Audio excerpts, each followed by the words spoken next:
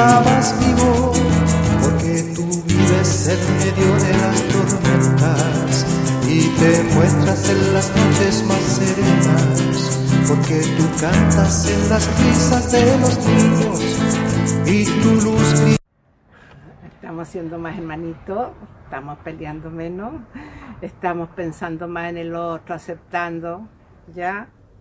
Sí, difícil, pero estamos más en armonía, qué maravilla. Y nos quedan dos días, nos quedan dos días, hermanito, para este fin de mes. Ya recién empezamos, ya estamos terminando.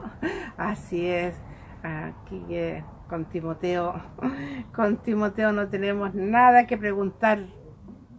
Seré paciente, seré peleador, seré orgulloso, me lo dice clarito.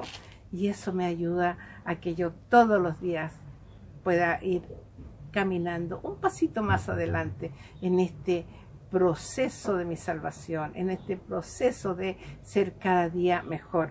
Y hoy día ya terminamos. Ustedes dirán que bueno, terminamos el topoteo. Bueno, no sé si diremos decir que bueno o a lo mejor nos falta todavía. Bueno, el Señor sabe. Entonces, hoy día comenzamos con Colosenses. Vamos a ver qué nos espera este Espíritu Santo que nos va iluminando.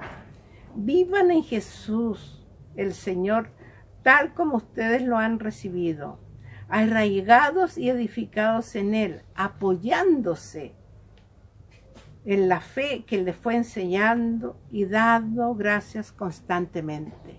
Palabra de Dios. Vivamos en Cristo Jesús, como lo hemos recibido, como nos ha enseñado.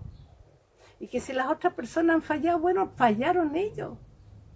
¿Ya? Pero su palabra es como Él nos ha enseñado en su amor, en su camino, en su bondad, en su servicio, en su unidad, en su respeto, arraigados y edificados en Él.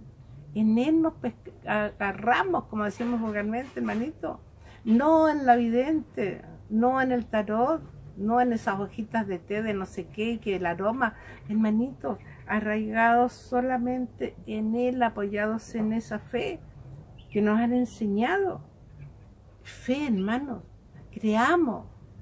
Nosotros, yo te pregunto, ¿cree en Cristo? Tú vas a sí, creo. Bueno, le crees tantas veces.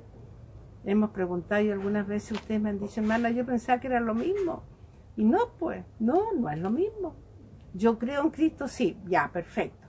Pero ahora tengo que creerle sus promesas. Y eso es tener fe. Tener fe que si Él me dijo que no tenga miedo, no lo tengo.